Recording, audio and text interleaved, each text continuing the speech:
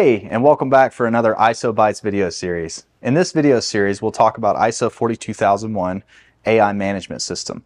I'll cover all of the clauses 4 through 10, as well as all of the Annex A controls and give you everything you need to get your organization certified. Annex 9 talks about the use of AI systems. The objective here is to ensure that the organization uses AI systems responsibly and per organizational policies.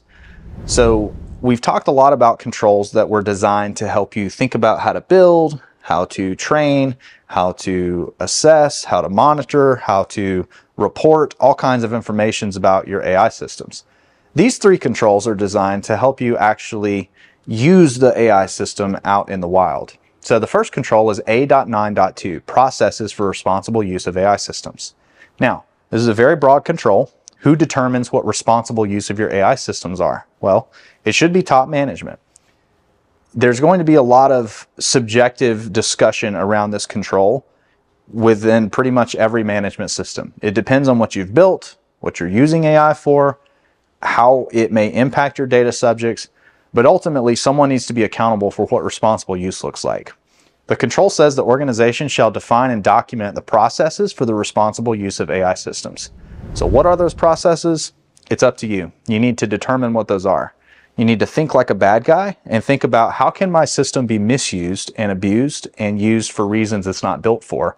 And you need to try to articulate those so that people avoid that or they at least know they should not be doing that if they choose to do so. The next control is A.9.3, objectives for responsible use of AI systems. So this control is really all about identifying those objectives. Uh, again, you can look back at clause 6.2 and think about the objectives that you set there.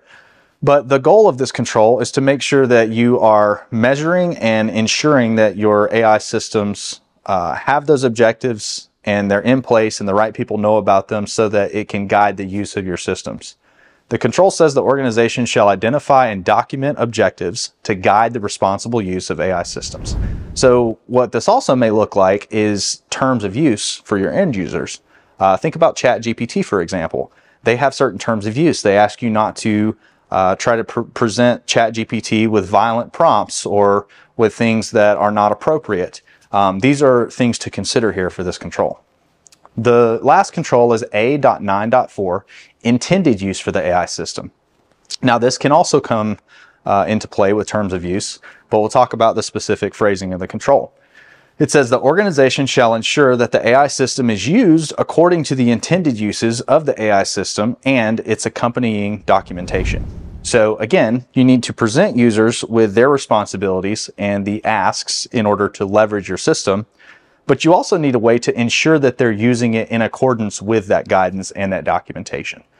This can be a lot of different things. Uh, I could go into great detail about a lot of different ways to do this, but it's going to be wildly different depending on your system. So spend some time looking at A.9.4 implementation guidance and thinking about how this relates to you and what appropriate information you need to collect and stay on top of to ensure your end users are leveraging your systems as intended.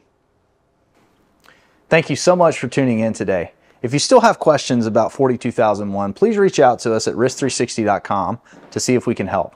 Also, make sure to check out the description for some important links to other materials that will help you as you take your organization on this journey.